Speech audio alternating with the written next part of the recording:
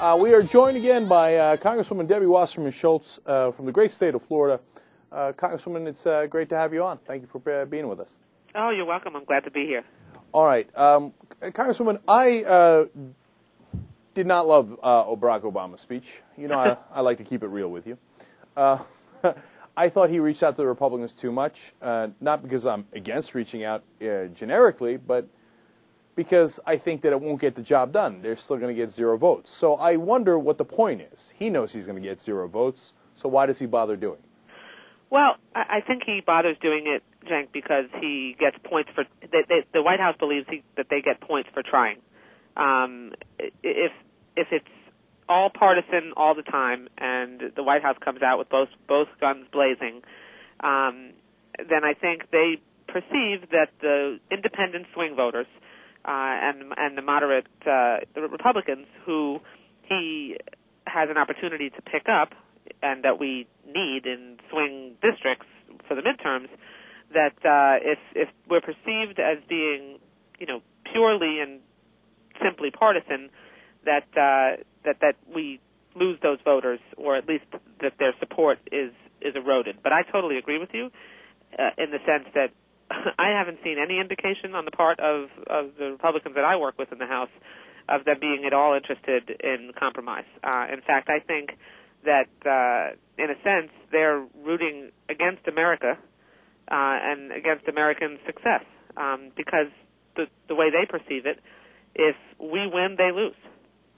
I understand the optics of it, but you know, I think it has two uh, significant downsides, and I'm not sure the administration is taking that in, into account. First of all, um, they're never they never make their own case. The Republicans make the case that no, they don't. You're right. You know that tax cuts are always the right thing, spending freezes are always the right thing, etc. I mean, I can go down a list. And in, instead their of, version of compromise. Uh, right, and instead of making his case as to why sometimes spending makes sense and why sometimes tax increases make sense, uh, Obama comes out and largely, I mean, surrender sounds really harsh, but yeah, don't don't go that far. Okay, all right. So so but he but there's tremendous downside to never ever making your case. Is that a concern in, for the progressives in the House?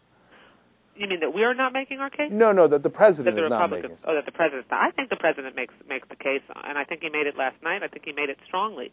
Um, I don't think the Republicans ever make their case. I, I mean, it's it's hard to I mean, what I what I find frustrating about the the the, the expression uh, of bipartisanship or the, the outreach on, on their part is that uh, not only is there never a reach back, but you know what are we reaching back to? They they don't have they're they're bankrupt of ideas. They their version of compromise is do it their way, uh, and and if we're not doing it their way, then then we're not coming to the table and working with them. I mean, it, my version of compromise is we hear your ideas. We sit down with you and discuss them. We try to come to some kind of see if we can find common ground, and on some things we will, and some things we won't. And I'm, you know, I'm totally comfortable with that, and I think that that's a good way to run dem- a democracy.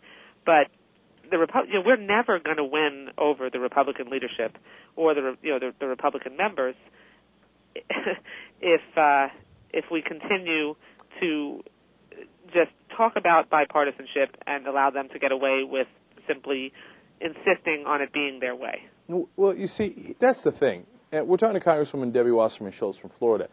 You see, that hope seems so ridiculous that you, that the Republicans are going to act in good faith that I don't believe that it really exists. Uh, so there must be something else afoot. And uh, I tend to think that uh, what I said at the end of the last segment is that, look, I don't think that they want to reach a compromise with the Republicans uh, at a real centrist position between conservative and liberal. I think they want to pretend to reach a compromise, and that compromise is just going to be a corporatist compromise. Where a what compromise? A corporatist compromise. A corporatist compromise. Okay. Where the pharmaceutical companies are protected from competition, where there is no drug reimportation, where uh, we will not negotiate prices with them, and the list goes on and on. I think mm. that's the real uh, deal that's being played against the American people. I, I, you know what? I just I don't agree with that at all. I mean, I, I'm just not that cynical. I I really believe that the president. Uh, first of all, I believe in the in the agenda that the president laid out last night. I thought he did a very good job. I thought the speech substantively was excellent. And you know, speaking as a liberal Democrat and someone who you know shares, I think, the progressive values that you have. Um, I, I mean, I think reaching out to small business owners and making sure that they can have enough capital to generate jobs and be able to, you know, grow their businesses. There's nothing moderate about that. I mean, that's that's something we absolutely need to do in order to pull this economy out of the ditch. And uh, what part of big pharma is small business? Well, the president didn't talk about big pharma. I mean, that that that. But that he did make with deals with them in healthcare reform. He he made huge deals with them in healthcare reform where they uh, stood to make hundreds of billions of dollars from those do, deals. Do you see anything in law at this point that has anything to do with a deal with big pharma? I don't. So you guys are going to stop it in the House? Uh, I think we're going to come up with legislation that is going to make sure that we do have negotiations with uh, with, with the pharmaceutical industry, and that we do close the close the donut hole, uh, and and cut prescription drug prices for senior citizens by 50% when they're with, in the With all hole. due respect, I don't believe that at all. And not because I think you're not telling me. the you me don't have truth. to believe it. I, I look okay. the, I, the words, I just don't think it's going to happen. I mean, words are cheap. So, I mean, it, it's just it's just a matter of following what the Congress does. So let me ask we'll you have how. you. How are you going to get that good deal? Because if you got that deal, I give you all the credit in the world. Okay, but How? Yeah. Now you have a Senate version, which I think is is, I mean, an absolute gift to corporate America. They they love every piece of that legislation. now you guys say you're not going to pass that in the House, right? Or if you do, you need a, a second rec- bill that goes through reconciliation. I think we'll pass this. I, I think we'll pass the reconciliation bill, you know, with a majority of the House uh, and the majority of the Senate before we agree to vote on the Senate bill. I mean, so if if we if it goes down like that, what I think will happen is we will hold the Senate bill at the desk in the House, have pass the the, the reconciliation bill with a majority of the House, send it to the Senate, wait for them to pass it, and then and, and only then would we pass the Senate bill. All right, now we're making news. So. I mean, uh, that's how I think if if it unfolds the way it should, that's how I think it will happen. So what are the chances of that? Because the Senate, of course, says, "Oh no, no, trust us. You pass our version There's no first." Let me tell you something, Cenk. There's no way that we are going to trust them. No way. I mean, that bill, the Senate bill, is dead. D O A as a standalone bill. We are not passing that in the House. The Speaker has said that. We are not passing the Senate bill without making sure that the Senate passes that reconciliation bill. All right, that is very clear. I mean, I really don't think we, you know, I, I haven't heard anyone say anything to the contrary. We've had we had three caucus meetings in the last uh, four caucus meetings in the last two weeks with the speaker up at the front. She spoke publicly about the Senate bill not being you know not being passable in the House last week. She talked this week about making even though constitutionally uh, the the parliamentarians are telling us that we ha- look we would like to in the House our caucus would like to make the Senate go first uh, on, on reconciliation, but we can't because the parliamentarians are telling us because it's a revenue because it's a revenue bill, the Constitution requires us to, to pass it first. So, okay, if we have to pass it first, fine, but we should wait on them, the Senate, to pass it after we do, and then send it, and then send the Senate bill to the president. That makes a lot of sense. So let's fill in the details real quick. Sure. Uh, what would have to be in that Senate reconciliation bill uh, for the House to be satisfied with it? Well, uh, there's a number, a number of the, the, the limitations on the reconciliation bill, um, and and you know one of the important things to understand because reconciliation doesn't mean anything to anybody. Basically, reconciliation is a method that we use to pass changes to law with a majority of the House and the Senate. And it's important to understand because the Republicans are, you know, screaming and yelling about how we're going outside procedure and this is abnormal. They passed every major piece of legislation with reconciliation, including the Bush tax cuts, uh, including the including some the, their, their budgets. So this is a normal, standard operating procedure in in the Congress. The founding fathers created this country with majority rule, and you shouldn't. We were, we should not allow the Senate to make it normal that you have to pass everything with 60 with, with 60 votes of a supermajority. But to answer your, your question specifically, those the, the limitations on a reconciliation bill are that the only provisions that we're allowed to include in those are are have to be related to revenue. I mean, it has to be it has to be funding related. Right. So we're going to be able to take a look at some of the funding issues, partic- particularly the financing mechanism, and make adjustments to the financing mechanism, which you know most of us don't like, in the Senate bill, and uh, and a variety of other you know funding related items. But I Okay. couldn't. I, I don't know what's going to be in the bill, uh, in the reconciliation bill at this point, because they're just starting to work on it now. So what I'm hearing from you is uh, you want to get away from the excise tax and uh, pay Yes. for it through the House version, which was taxing the well, top one percent. you know, I, I don't know whether whether we're going to. I, I don't think we're going to do it that way.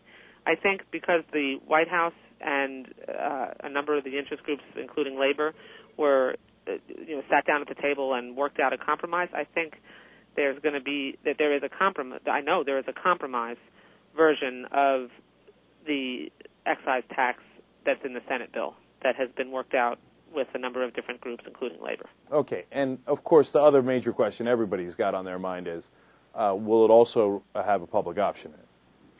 uh, it's unlikely that we can put, do a public option in a reconciliation bill because it's not funding related. Wait, I, wait, whoa, whoa, whoa! I don't understand that at all. I thought the public option was completely funding related. No, because it's the the the. the it, I mean, it's not a funding. I mean, mechanically, it's not a funding issue. The public option is is is the way you would structure. y- I mean, uh, I'm trying to find a, uh, the best way to explain it, but the, No, no, no. uh, I understand. It's you know, it's not a funding mechanism. but it Uh, certainly affects the deficit. It certainly affects the budget, and I thought that was a necessary requirement for being included in a reconciliation. Well. I, I mean, I would like nothing more for the for the public option to to meet that test, and I- I'm sure that if it if it can, we would we would run it through. But the the public option doesn't have the, we don't have the votes for the public option in the Senate. So yeah, I see. That, there we go again. Nah, you see. No, I mean, that's that's that's, that's what leads to my cynicism because I w- we were told all along that we had plenty of senators. We had 51 senators for a public option easily, but that we couldn't do it because we needed 60 senators. I mean, there's been a million excuses not to have the public option in there, even though every single poll is between 60 and 80 percent of the American I people agree. want it. I totally support the public option, and I think it should be included. And I, I want to see it happen. I just can't assure you, uh, number one, that procedurally it can be a part of of, of a bill, and it's I'm, not going to be. It's okay. I, I mean, I mean, I'm hearing what I'm hearing. It's You can so- you can don't inter- don't don't interpret what you what you think I'm saying. I, I'm saying something very clearly. One, I think it's a, I think including the public option is a procedural problem. I don't know for sure, but the parliamentary we'll work with the parliamentarian to see. And number two, I don't think we have agreement with the Senate on including a public option. They hate as it. part of They the don't want it. They're liars. They they don't want it. They say they want it. They don't want it. They'll take I every agree. They don't want it. I totally agree. I don't think they're liars. I think they've said they don't want it. No, they said before, oh, we want it, we want it, but the Republicans won't let us. Oh, we Some need of the senators votes. say they oh, want it, this, and some this, of them, that. but but some of them don't. they don't I- want it because they, and that's why I call But them Jake, you know who said they want it? The House wants it. The House wants it. We voted for it. We support it. But we've got a two we've got a two chamber a bicameral Congress here. Uh, you know we're we're subject to the negotiations and compromises that we're able to pass through both both chambers. And That's just in the the end- constitutional reality that we face. I know. And the constitutional reality we face is that in the end, there will be no public option, there will be no Medicare buy-in, and what you'll have is pharmaceutical companies that make a tremendous killing off this. You'll have a new mandate that pushes 30 million more people into private insurance companies. They'll make a killing off this. Everybody but the American people will make a killing off But you know this. what? I don't care if people make money, if we cover more people, and if we if we can cover everyone, if we can provide the security and stability that people need who have in- health insurance. I mean, last week, Cenk, I was online uh, on the TSA security line to go back to Washington with a small bu- business owner in my district who just struck up a conversation with me, like people like small business owners do all over my district. He he provides insurance to his employees and his insurance premiums went up 172% last year Well, that's because he had one sick employee. But Congresswoman, that's the problem. Uh, Look, you're right, I'm and not against problem that this profits. I'm a solve. capitalist. I'm a capitalist. I, I'm not against profits, and I'm not saying we should do anything punitive. All the problem with these companies winning is that we lose. No, they keep raising our does- premiums. I they want keep to understand how you think we lose by covering 35 million more Americans with health insurance. because our sure premiums keep going down. up. It's the story you just told. Our premiums go up and now, up and up, and we'll there's be able no to bring them down it. when this bill passes. I don't, uh, how? There's no public option. There's no check. How are you going to bring the cost down? Because you're broadening the pool. You're uh, prohibiting them from dropping people for a pre-existing condition. You're requiring the insurance to be guarantee issue. You're setting the premiums. Look, just look at what we're doing for women. Women pay on average a 48% higher premium, Cenk, uh, right now simply because of our gender. We're going to prohibit that, prohibit that and only allow you know, very basic things to, to, to, to, for the premiums to be based on. That's going to bring down costs all by itself. I don't want the audience to get misled into thinking that I don't think there's good things in the bill. There are. And you do expand coverage. Thank you. There's no question about Hallelujah. that. Okay, you expand coverage. What the things that you mentioned are absolutely true. Okay, but I'm going to guarantee you right here that our premiums are going to skyrocket. You are wrong. And the, and the will things that you I'm mentioned happy- are not cost containment. Okay, I will bet coverage. you that that's not true, and I will come back on your show so that we can have another another conversation about it. So you can congratulate me that I was right. Okay, two years from now, if my premium goes down, I'll uh, pay for your insurance. That sounds If my premium Perfect. goes up, you pay for my insurance. But uh, it works for me. I got to run though. I'm sorry. All right, Congresswoman Debbie Wasserman Schultz, thank you so much Take care, Jack. for joining Thanks for us. having we me. appreciate Bye-bye. the conversation.